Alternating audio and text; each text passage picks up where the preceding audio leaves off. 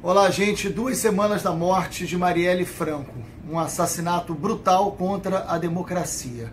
Ontem fui surpreendido com a notícia de que a caravana do ex-presidente Lula na região do Paraná foi recebida a tiros nos ônibus que acompanhavam o ex-presidente. Inclusive, alguns tiros atingiram o ônibus que carregava a imprensa.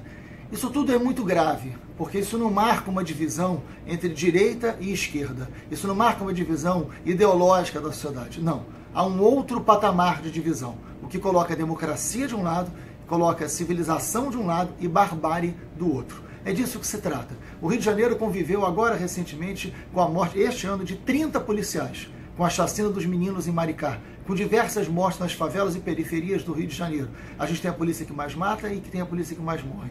Um assassinato brutal, a única vereadora negra da Câmara de Vereadores da cidade do Rio de Janeiro em pleno século XXI.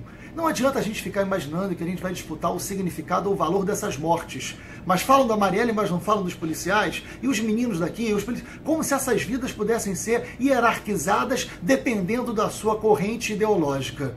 Isso é uma barbárie. Não é disso que a gente está falando. As vidas todas têm o mesmo significado. Evidente que a morte da Marielle ela é simbólica porque ela não é uma morte sobre a Marielle, mas sobre o que ela representava. Por isso o mundo inteiro reagiu. Mas isso não nos torna insensível à morte de 30 policiais.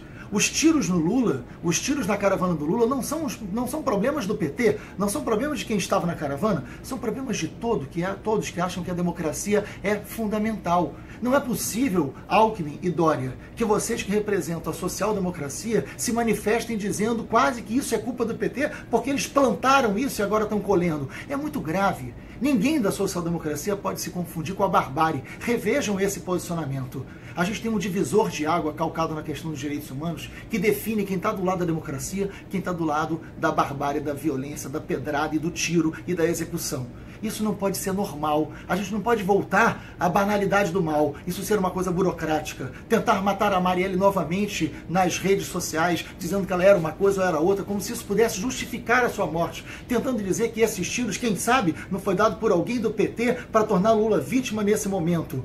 A internet é um lugar que a gente precisa entender melhor, é verdade. Mas essas coisas não são normais, essas coisas não são burocráticas, essas coisas precisam ser derrotadas por todos nós. Nós temos diferenças, claro. Ah, mas e o que aconteceu na Petrobras? Os escândalos do PT, o mensalão e o Banestado. Aliás, é bom avisar que Banestado e Petrobras aconteceram em governos diferentes, tem gente que mistura isso. Né? Mas eu tenho críticas ao PT, eu tenho críticas ao PSDB, a reeleição do Fernando Henrique foi comprada. Este é um debate seja lá qual for, que cabe na democracia. Por isso tem eleição, por isso tem debate. Isso a gente resolve no encontro, no olho no olho, na troca das ideias, na reafirmação das ideologias. Eu sou daqueles que acham que existe sim direita, existe sim esquerda, mas a barbárie não divide direita e esquerda. A barbárie divide democracia de um lado, onde as nossas diferenças são fundamentais, e a barbárie, a violência, o tiro do outro.